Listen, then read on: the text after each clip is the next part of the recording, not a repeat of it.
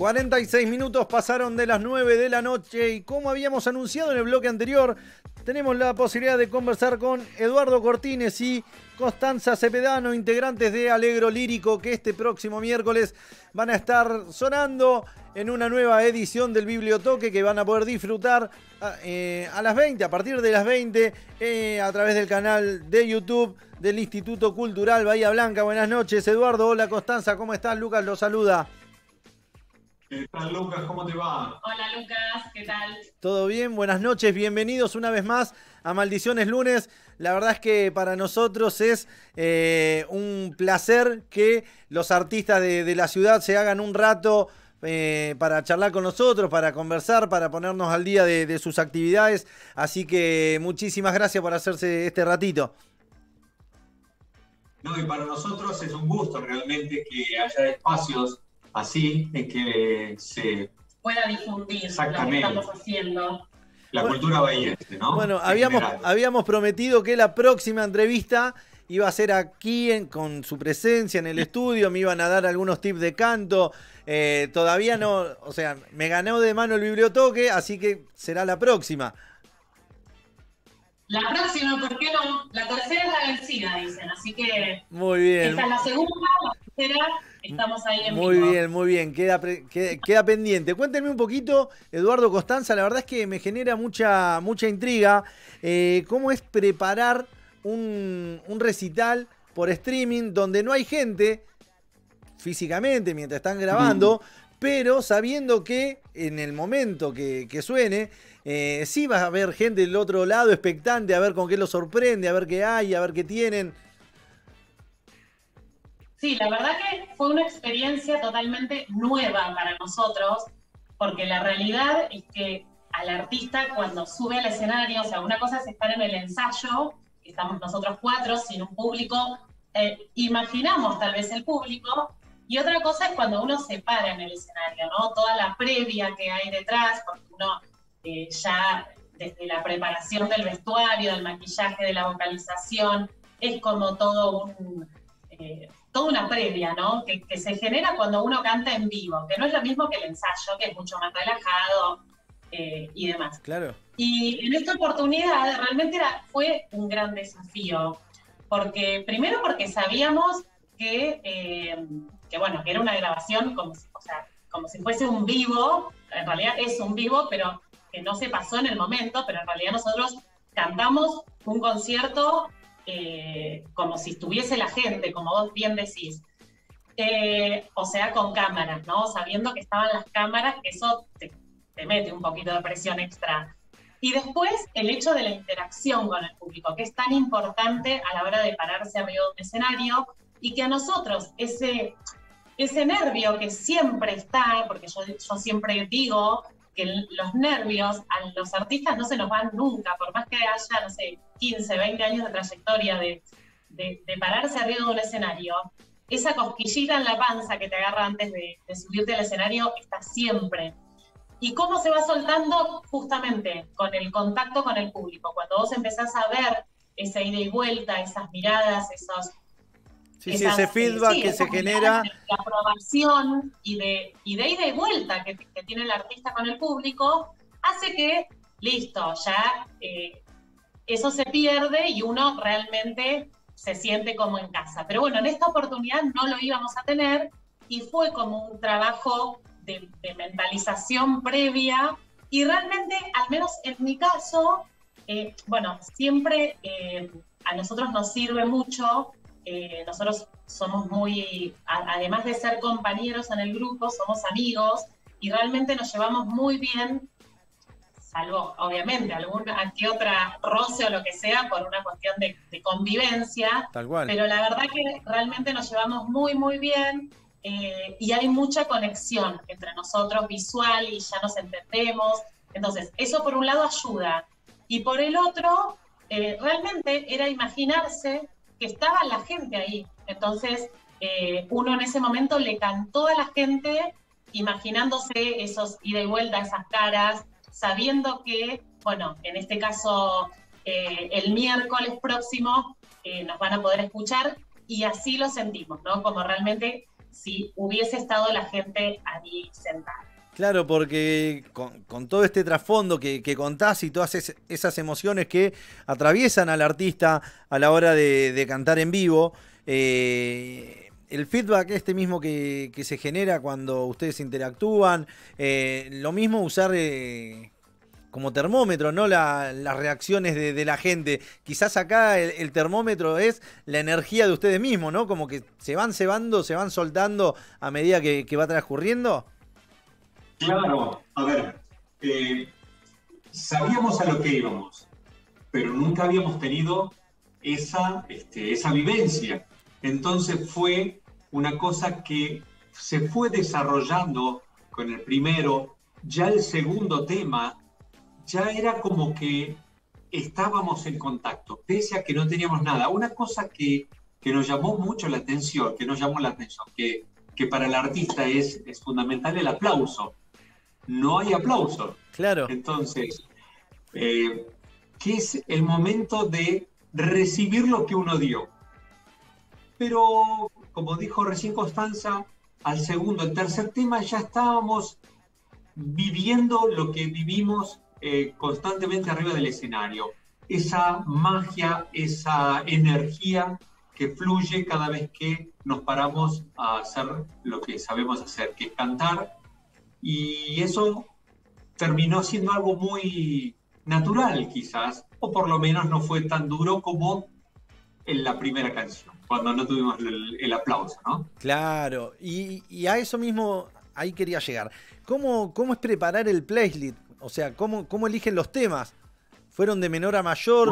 Eh, ¿Alternaron? ¿Qué, ¿Qué, temas eligieron? ¿Por qué? Siempre, siempre eh, cada vez que preparamos un concierto, una presentación, tenemos que tener en cuenta el, el tiempo que vamos a estar eh, cantando, la cantidad de temas, y sobre eso tenemos que organizar para que no decaiga, pero tampoco empezar muy abajo, cosa que... Una energía, ¿no?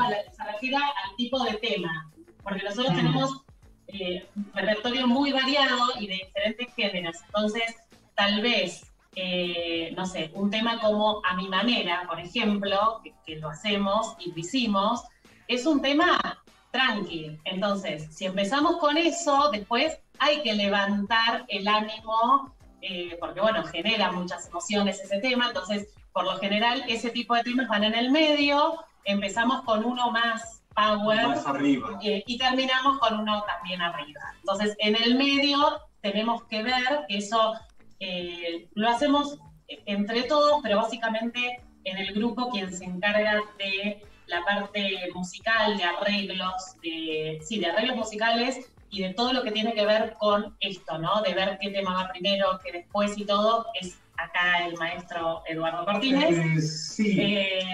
Hay una cosa que es fundamental en un concierto. La primera impresión, es decir, el primer tema, y lo último que le dejas a la gente en su retina. Eso es fundamental. Y en el medio se va trabajando. Entonces ahí lo del medio es quizás lo más este, difícil de elegir o tratar de hilvanar el concierto para que tenga sus momentos y que no sea en una sola dirección. Claro. Claro, qué, qué laburo eh, maravilloso debe ser para, para, el artista ese momento porque es la previa al, recital que, van a brindar. Cuéntenme una cosa, ¿ya, ya habían eh, cantado alguna vez en la biblioteca Bernardino Rivadavia? Mira, a ver, eh, los dos con Constanza cantamos desde muy chiquitos. empezamos en el coro de niños de la cooperativa obrera. Y ahí básicamente... A los nueve años y él a los seis. A los seis años, yo y ella a los nueve. Y tenemos bastantes más. a ver... Eh, de ahí salió Abel Pintos, ¿no? Claro, Abel cantó...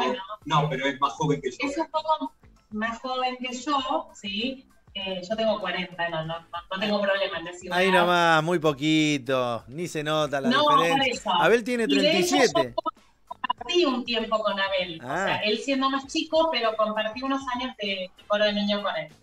Eh, así que bueno, como te decía Edu, ahí Sí, sigue. ese escenario, ese escenario lo pisamos por lo menos tres o cuatro veces por año, porque teníamos conciertos generalmente el 16 de julio, cumpleaños de la biblioteca, hacíamos un concierto con el coro de niños, o bien con el coro juvenil, o bien con el coro de la universidad, o bien lo hemos hecho con el coro estable también. Claro. Entonces es un escenario que conocemos hace muchos años. Son recontra locales. Eh, a ver, locales. Eh, Hace muchos años que estamos con la música. claro, entonces, tenemos mucho cariño y de hecho, y lo- somos valientes los dos, entonces la biblioteca es, uno, es como decir, cantaron alguna vez en el teatro municipal o cantaron, o sea, son lugares en los que es habitual tal vez hacer conciertos. Y bueno, en ese sentido también ayuda que son lugares que para nosotros, nada, son conocidos, la biblioteca tiene muy buena acústica para, para cantar, eh, así que bueno, en ese sentido nos sentimos muy cómodos. Además de, no quiero dejar de, de mencionar a todo el equipo de producción que hay detrás, ¿no? Eh, los chicos de las luces, del sonido, eh, mismo de la, de la organización de, de- de cultura de la municipalidad. O sea, la verdad que en, en eso también eh, fue muy bien eh, coordinado, con lo cual también te da esa tranquilidad que uno se sube al escenario y estás tranquilo porque tenés buen retorno, un montón de cosas que tal vez eh, al momento de cantar son eh, importantes, ¿no? Porque eso te, te puede llegar a desconcentrar por completo, si vos no escuchas bien la pista o si no escuchas a tus compañeros. eh, Sí, sí. Así que bueno, Imagino que- también- Imagino que para, para el estilo de música que, que hacen, eh, es el lugar indicado, adecuado, debe ser eh, un lugar hermoso porque Sí. por eso que No mencionaba, ¿no? La acústica. eh, decía que no hay necesidad eh, de un micrófono para cantar, por lo menos en nuestro género. Claro. La- utilizamos micrófonos porque iba todo por línea, porque iba grabado, pero en un concierto en vivo o en una presentación que hemos tenido, Alegro Lírico, hemos tenido alguna presentación ahí cuando todavía se podía este, hacer eh, con presencia de público y demás, no usábamos micrófono, porque no es necesario. Esa sala es una hermosísima sala para poder hacer eh, conciertos, como Colón 80, enfrente, Tal cual. eh, el Teatro Municipal. Son salas fantásticas donde el sonido, la acústica es ideal para hacer lo que nosotros solemos hacer, ¿no? Cuéntenos cómo, quiénes son los dos integrantes que, que restan de, de Alegro. Nuestros Bien, amigos, queridos amigos. estaría faltando las voces agudas del grupo. Nosotros somos las voces graves. Eh, ¿Te acordás que más o menos te conté la otra vez un poquito? Eh, faltaría Mirna Serenelli, soprano, y Jorge de la Pítima, tenor. En nuestro caso somos mezzo soprano y barítono, las voces más graves del cuarteto vocal. ¿Cómo los puede encontrar la gente en las redes sociales? Bien, estamos como Alegro Lírico con doble L y estamos tanto en Facebook, en Instagram, en Spotify, en YouTube y creo que no me olvido nada, ¿no? Sí, en las eh, redes, en las redes, en los soportes digitales de audio, en casi todos, pues también está Apple Music, eh, Deezer, Pandora, hasta en TikTok aparecemos, imagina. Bueno, la gente no tiene excusa entonces para no seguirlos por lo menos en una o dos redes sociales que tenemos todo el mundo. Por supuesto. Bueno. Y los invitamos porque ahí tenemos mucha música también para que puedan disfrutar. Bueno, entonces los invitamos a sumarse a las redes de Alegro Lírico, donde van a poder encontrar a Eduardo Costanza y el resto del equipo. Y también los invitamos a conectarse el miércoles a las 20 al canal de YouTube del Instituto Cultural de Bahía Blanca para poder disfrutar de este show que nos acaban de hacer la previa Eduardo y Costanza. Y la verdad que quedamos bastante, pero bastante intrigados. Así que vamos a ver qué es lo, lo que ocurre el próximo miércoles. Eduardo Costanza, muchísimas gracias nuevamente por haberse hecho un ratito para conversar con nosotros. Son bienvenidos a Maldiciones Lunes las veces que sea necesario, ya lo saben. Así que muchísimas gracias por este momento. Gracias. Estamos en contacto y la próxima ahí los cuatro en vivo. Los quiero acá en vivo. Muchísimas gracias. Pasaban entonces los integrantes de Alegro Lírico que, como acabamos de mencionar, el próximo miércoles se van a estar presentando en una nueva edición del Bibliotoque. Metemos tema, tanda y continuamos con más. Maldiciones lunes.